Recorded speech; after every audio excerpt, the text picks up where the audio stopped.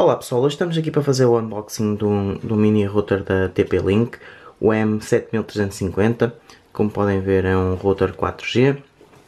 Aqui na caixa já podemos ver algumas indicações, eh, funciona até velocidades de 150 megabits por, por segundo de download e 50 megabits por segundo de upload, isto dependendo se conseguem ter depois rede 4G LTE uh, com o cartão que colocam lá dentro. Temos dual band, que suporta até 300 megabits por segundo. Conseguimos ligar 10 dispositivos ao mesmo tempo. Temos uma bateria de 2250 mAh, que dá até 10 horas.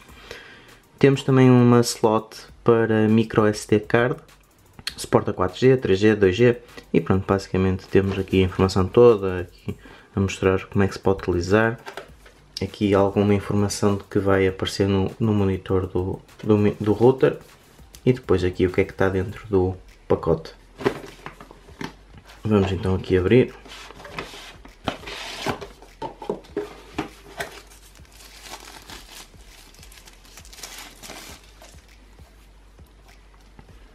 Tem um aspecto bastante premium. Como podem ver, isto aqui é uma espécie de, de aborrachado temos indicação de TP-Link nas costas. Eh, por cima então temos aqui um mostrador.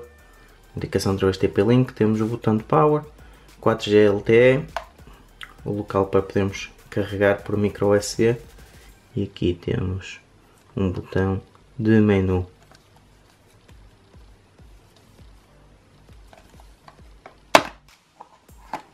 Vamos então aqui abrir para ver a parte de trás. Podemos então ver aqui, temos o local para meter o micro SD e para metermos o, o cartão SIM. Vamos ver o que vem mais por dentro. Temos então aqui os manuais.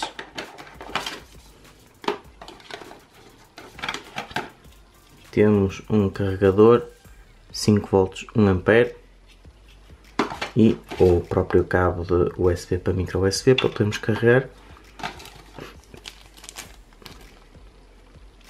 Vem ainda aqui com alguns adaptadores para utilizarmos cartões mais pequenos e podermos depois adaptar ao tamanho certo do, do nosso router. E por fim temos a, a nossa bateria de 2250 mAh como anunciado. Vou só colocar experimentar ligar.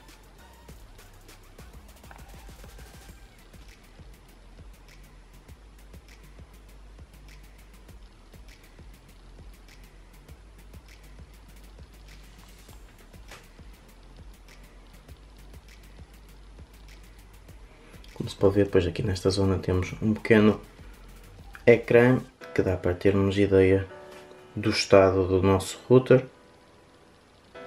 Está a dizer que não tenho cartão SIM, que só liguei.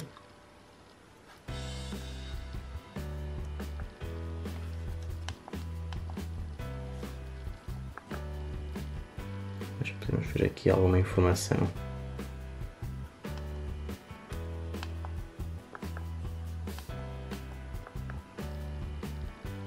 Configurar a, a banda. Podemos ativar se queremos em roaming.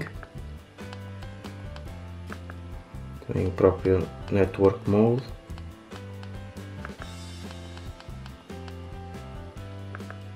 E depois temos aqui o código QR para nos ligarmos diretamente. Basicamente em termos de menu é isto que temos. Parece-me ser simples de utilizar em termos de mostrador temos então aqui alguma informação. Depois mais para a frente, quando fizer os testes e colocar um cartão aqui, irei mostrar mais detalhes. Portanto, está feito assim o um unboxing. Qualquer questão deixem nos comentários, subscrevam o canal para receber mais novidades e até à próxima!